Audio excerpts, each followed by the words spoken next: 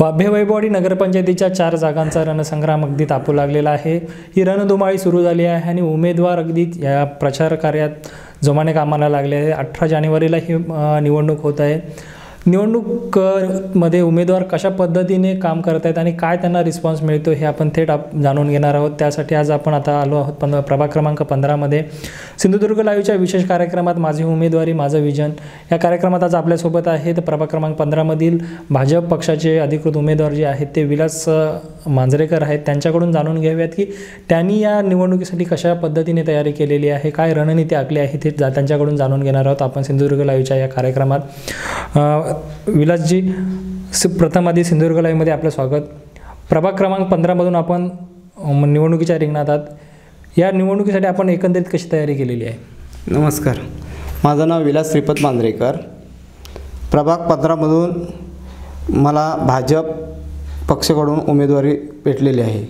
तसेच आमचे भाजपचे ना केंद्रीय मंत्री नारायण राणे साहेब तसेच आम आमचे आमदार नितेशजी राणे साहेब तसेच तालुक्यातील पक्ष भाजप पक्षाचे पदाधिकारी यांनी मला सहकार्य करून मला उमेदवारी दिलेली आहे.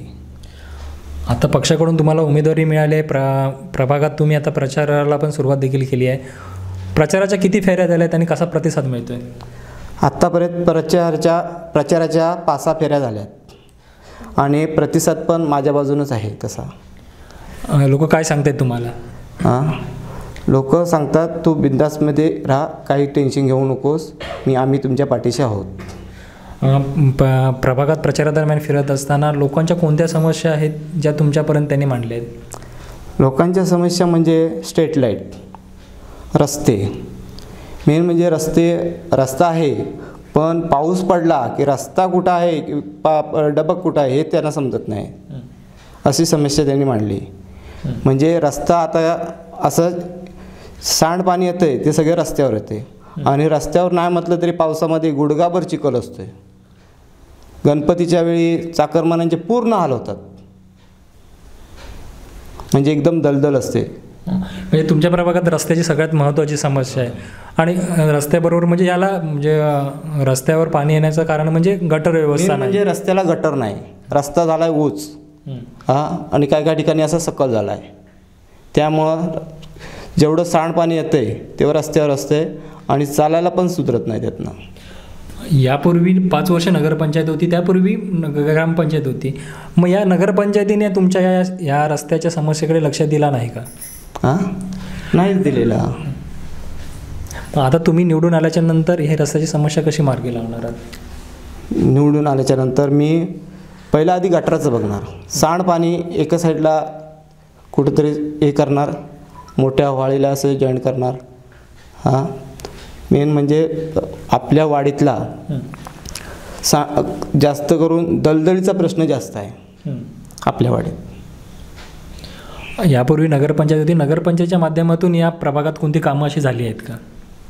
प्रभागात कामं झालीत. एक सावंतवाडीचा रस्ता झाला आहे आणि स्ट्रीट लाइट रस्ता झाला आहे तो कसा उंच जास्त झाला आहे त्यामुळं दोन तीन घरं ती पाण्यातच आहेत.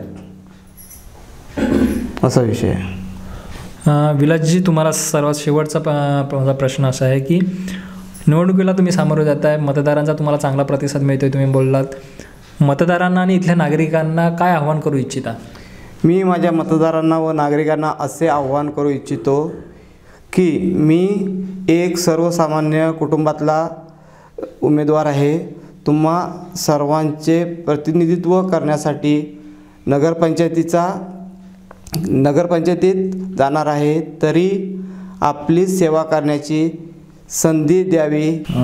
हे होते विलास मांजरेकर. त्यांनी सांगितलं आहे की एक सर्वसामान्यांचं प्रतिनिधित्व करण्यासाठी मी नगरपंचायतीत जाणार आहेत या प्रभागात असणारे सर्वात महत्त्वाचा प्रश्न म्हणजे रस्त्याचा प्रश्न आहे. त्याचबरोबर स्ट्रीट लाइट आहे गटाराचा प्रश्न आहे. हे प्रश्न देखील मी मार्गी लावणार आहे. आणि एक सर्वसामान्यांचं नेतृत्व करत असताना एक हक्काचा माणूस म्हणून मी या नगरपंचायतीत जाणार आहे. आणि त्यांचे जे प्रश्न असतील ते मी मार्गी लावणार असल्याचा ठाम विश्वास त्यांनी आपल्याशी बोलताना व्यक्त केलेला आहे. आ कॅमेरामन आनंद तांबेसह मी श्रीधर साळुंखे सिंधुदुर्ग लाईव्ह वैभववाडी.